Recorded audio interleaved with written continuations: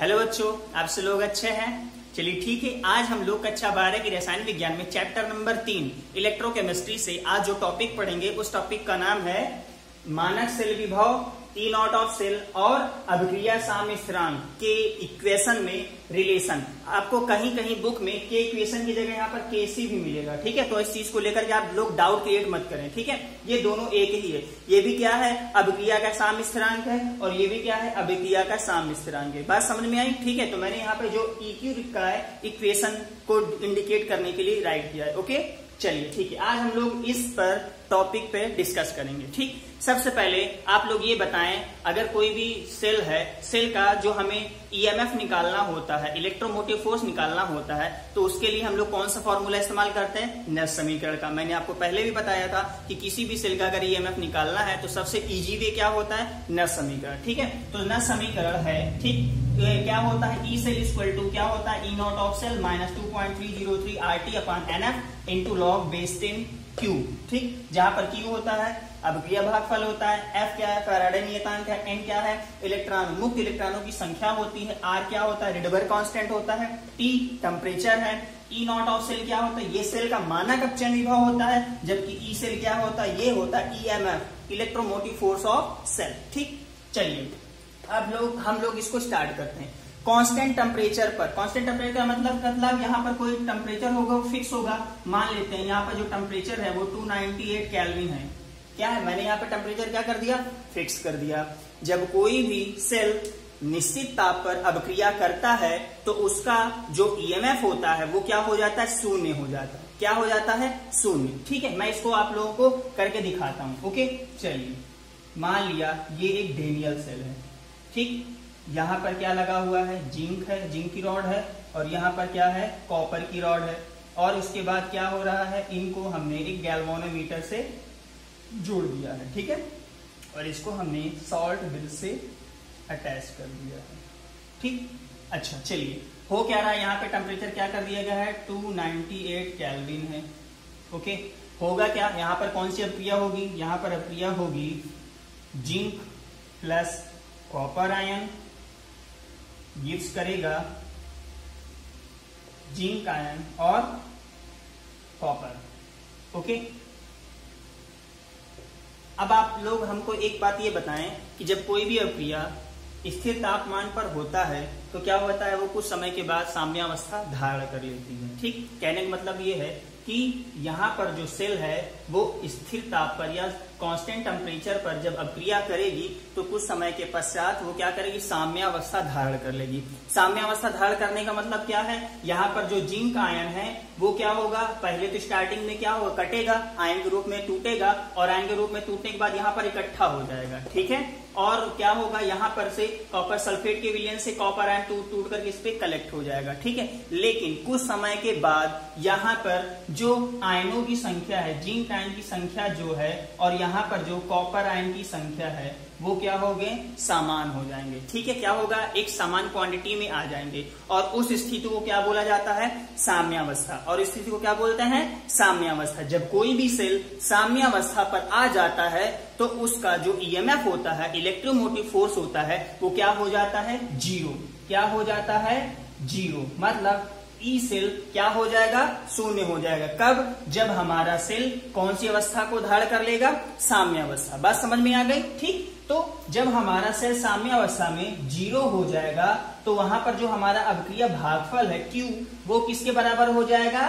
साम्य स्थिरांक समीकरण मतलब अभिक्रिया साम्य स्थिरांक मतलब के इक्वेशन के बराबर हो जाएगा। इसको अभिक्रिया क्या बोलते हैं? साम्य स्थिरांक ही तो बोलते हैं। अभिक्रिया का साम्य स्थिरांक ही तो बोलते हैं। अच्छा बुक में क्या होगा आपको?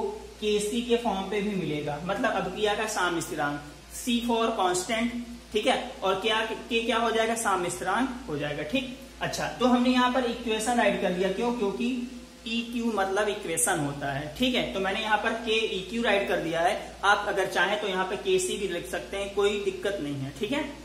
चलिए। अच्छा साम्य स्थिरांक या साम्यावस्था में साम्यावस्था में जो सेल का ईएमएफ e होता है, वो क्या हो जाएगा? शून्य के बराबर हो जाएगा।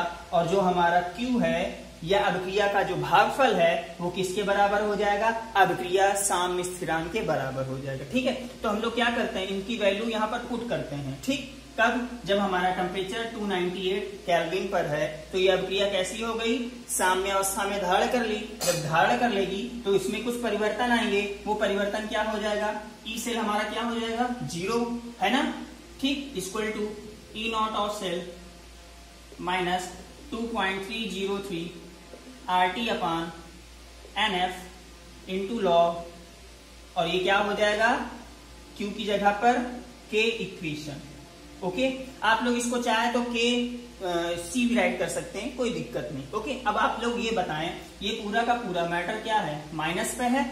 ये क्या है? प्लस में है। अगर मैं इसको पच्छांतर करूँगा तो ये नहीं हो जाएगा। Two point three zero three R T upon n F into log के इक्वेशन इक्वल टू ए किसके बराबर हो जाएगा?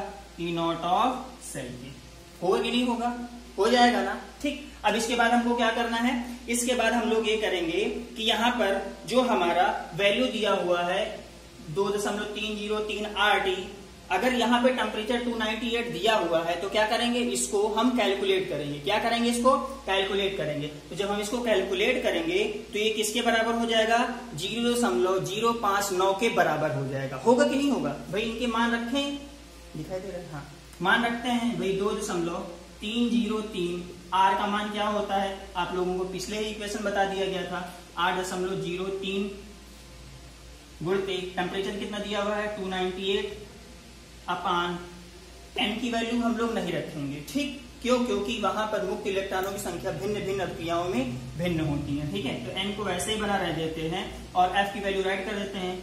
ये हो जाएगा छ, नौ, पाँच डबल ज़ीरो इंटू लॉग के equation equal to E naught of cell ठीक है? हाँ मैंने आपको बताया था कि ये सभी को जब हम कैलकुलेट करते हैं तो किसके बराबर हो जाएगा? ज़ीरो दशमलव ज़ीरो पाँच नौ upon n into log base ten के इक्वेशन के बराबर होगा कि नहीं होगा? ये इसके बराबर हो जाएगा कि नहीं हो जाएगा? ठीक है?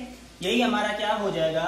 ई नॉट ऑफ़ सेल और की इक्वेशन मतलब साम स्थिरांक में यही हमारा क्या हो जाएगा? रिलेशन हो जाएगा। ठीक है? इनको और थोड़ा सा पच्छांतर करते हैं। थोड़ा सा क्या करते हैं? और पच्छांतर करते हैं। उसके लिए मुझे क्या करना थोड़ा सा इरेज करना पड़ेगा। ठीक है?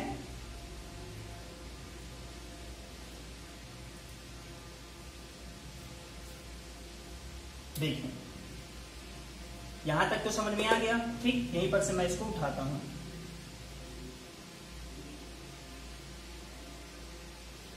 देखिए इसको मैं उठा रहा हूँ।